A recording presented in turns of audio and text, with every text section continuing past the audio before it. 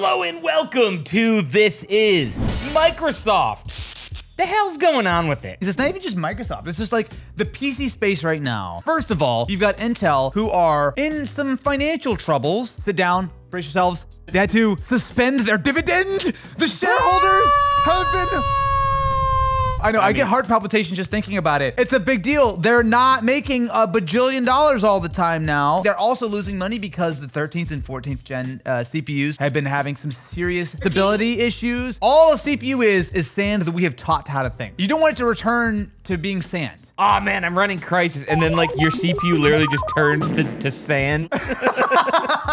Obviously, Intel have some concerns at the moment. They also have not brought out their Copilot Plus enabled chips yet. Their next wave of mobile chips, which will have the full 40, 45, 50, whatever tops of AI performance is still not here while we have Qualcomm that have already shipped their stuff. AMD have just shipped their most recent chips that have the full Copilot sort of experience. So we all know that all of the PC space has just been AI, AI, AI, AI. What I've been noticing is the complete lack of quality control. I don't think I'm being too like too broad with that. Sure, like, sure. You remember when we did our video of me picking out a laptop? One of the ones I talked about was an Asus ProArt, and I was like super excited to use that thing. That might be one of the worst laptops I've ever used. And it's all from quality. It's all from quality control. A lot of the problems I'm still I was having with the the pre-production model Yeah. are in the retail. I had like no joke, seven major updates to it since I got it like two weeks ago. One of the updates uh,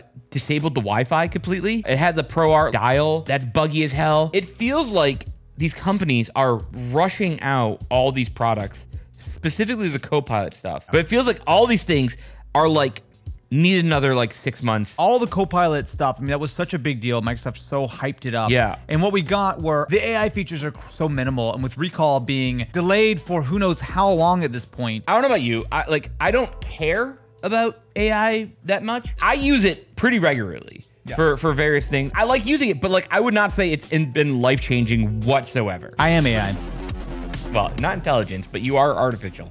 Thank you to Factor for sponsoring this video. Eating, you gotta do it every day, or at least you should. But after a long day of working and going to the gym, sometimes the last thing you wanna do is prep and cook an entire meal. Don't bankrupt yourself and get takeout again. It's not worth it. Get something better with Factor. Factor's delicious dietitian approved meals come ready to eat in just two minutes. All you gotta do is put it in the microwave. Complete meals come delivered fresh, never frozen, with ingredients you can feel good about. And you won't get bored either with 35 different meals to choose from every week. And Factor has got a wide variety of dietary focuses too. Calorie smart, keto, protein plus, vegan, and vegetarian. You can also grab all kinds of add-ons like breakfast, snacks, on-the-go lunches, and drinks. I love breakfast. You'll never have to worry about throwing away groceries that you don't use ever again because it's super easy to adjust your order every week between 4 and 18 meals, or you can just pause and reschedule so it fits your schedule however you want to do it. Ready to de-stress about meals? Well, check out the link in the description or the QR code on screen right now to get yourself 50% off your first Factor box and 20% off your next month with the code This Is 50 And thank you very much to Factor for sponsoring this episode of This Is. Now, I have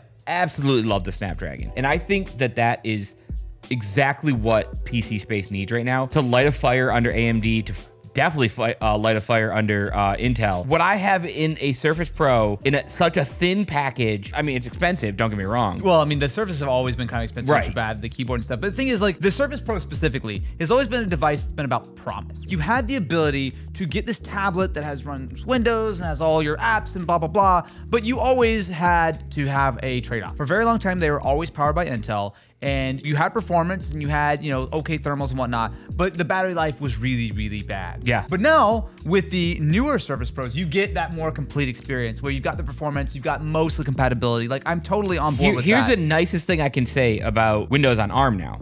I don't notice it whatsoever. it's so minimal for like at least my daily use that it doesn't bother me too much. I will say that I have really enjoyed using the Surface Laptop 7. The Snapdragon laptops have like set the bar for me. Yeah. That every other Windows laptop needs to reach. the ProArt I'm using is one of the AMD um, AI systems. It's a good device. But like the Surface just feels better. Like the Snapdragon feels better. It feels like it like it was a don't broke, don't fix it type of thing with like AMD. I will say that I had none of these issues with the AMD graphics on the S16. But I'm having but I'm having it on like just browsing. Right, right, online. because you Like, have you have deep fundamental issues. Yeah. and your laptop also doesn't work. Deep fundamental, issues. I'm really excited about the idea that the Windows scene is getting much, much more exciting because we've got more competition from Intel and AMD, and it's easy to kind of just talk crap about like, oh, Intel and AMD need to catch up, and of course they do. But also, they're pushing pretty hard right now. Like Intel is really, really trying. I think it is wor- sometimes worth just taking a moment to say, hey, guess what?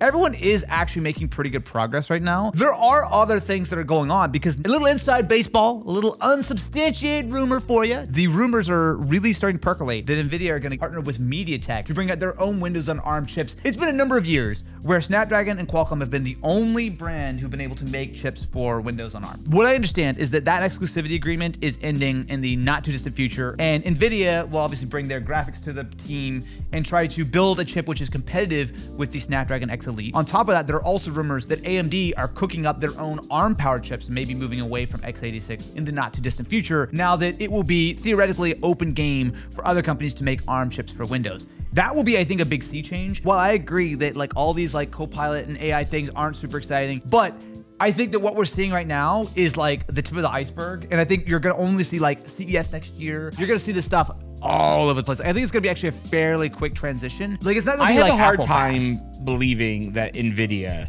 Yeah. would get heavy into the consumer space with it. I'm not saying they're getting out of it. Yeah.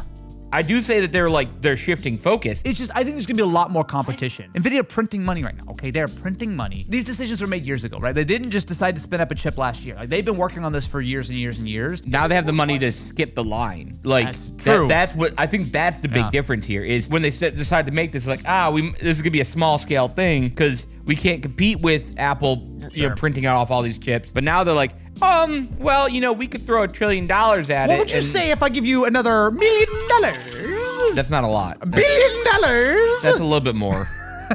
We're looking at trillion soon. Oh yeah, actually no. Nvidia are a trillion dollar company. Yeah, they are. That's It almost really- as much money as this is uh, makes. I make three trillion dollars a year every six seconds. Coming back to, to the whole PC space. Yeah. I feel like we're gonna get m- way more messy before we get better. We're kind of back to the wild, wild west of things. Yeah. The benefit to having a two CPU system was that everything is kind of optimized for two things. Yeah. It's either Intel or, or, or AMD. And now it's going to start to get a little bit more, more messy when we start to have way more CPUs, Yep. way more graphic options Yep. that are l- not less traditional. One thing that I think actually people a little bit slightly misunderstand about the ARM stuff. Any nerds who are DirectX aficionados in the comments, feel free to correct me if I'm wrong. But my understanding is the emulation's only on the CPU side. It has nothing to do with the GPU. The GPU, technically, nothing would really stop you if the drivers existed from taking a Snapdragon processor and throwing a 4090 into it. I'd rather you not. I will throw a big you could old. say something, but How don't about I throw a portable Xbox at you? Because What? the rumors have been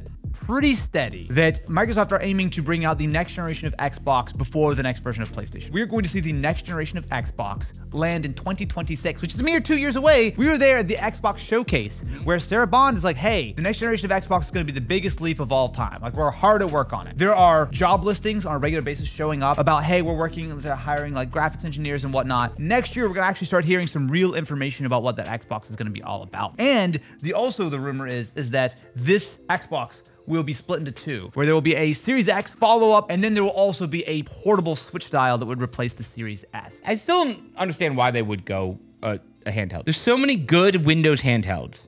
Yeah, but the Xbox interface is so much better. But like, what money do they make on it? Nothing. There's incentive for PlayStation to do it. There is no real incentive for Xbox to to build their own. Completely hard to disagree. I, I just Here's the thing: everyone sees what's going on right now. The Steam Deck is successful. The Switch has obviously Yeah. be, been hugely successful, and Windows handhelds are moderately successful, to my understanding. There's no way that Microsoft and Sony are bo- not both looking at that. and Go, well, hey, we could do that too, and it's not But- that technically difficult. But, you got to think a decade ahead when you're thinking about console stuff. what do you think is going to change in a decade? That's going to change how the business. It's already here. People are already buying Switches. Yep. People are buying Steam Decks. People are largely buying PC handhelds. Why, if you are a serious competitor in the console space, would you not, for a relatively reasonable price, why would you not also sell a portable version of your console? The Steam Deck is a perfect example. The Steam Deck is, for all intents and purposes, spec-wise, a portable version of the Xbox Series S. Broadly speaking, it is just a portable Series S that we have right now. So why would Microsoft and Sony not take that exact same sort of I thought agree with you on Sony. on the Series X2 and the PS6? I agree with make you a on Sony. Down version, ship it, as an actual portable device that could still be docked. It's obviously gonna be a lot less powerful than the full desktop-y style, like, you know, real console. But like people want these things. But like they're already making the money that But they are they, though? Yeah. I feel like there's a reason the Xbox exists, which is largely because Microsoft still make a lot of money by not having to cut in Steam and all these other things. They're making the licensing fee on on uh, Windows for like a Legion, an, an Ally, whatever. Anything that you buy on the Microsoft Store. Yep. Obviously, they're making that money. So like, yeah, they're losing the Steam side. It'd be better just to like make a better software experience. What if they actually don't want to make Windows better on handhelds because No, they no, want no. the Xbox They- to be better? No, they make a better Xbox app. That's what I'm saying. Only if it automatically uninstalls Steam. What do you think about the future of gaming? What do you think about the future of PCs? Let us know in the comments below. Like, subscribe, and again, I would like to please remind you that you do not need to listen to any of Matt's financial advice as much as he loves to give it. One trillion dollars. All you gotta do is follow here and put your bank account number. Do not do that in the in anyway. the comments. We're censoring all of that. And That- then I will censored. personally hand deliver you one trillion Wow, dollars. just all censored. That's incredible. Probably gonna be Zimbabwe money.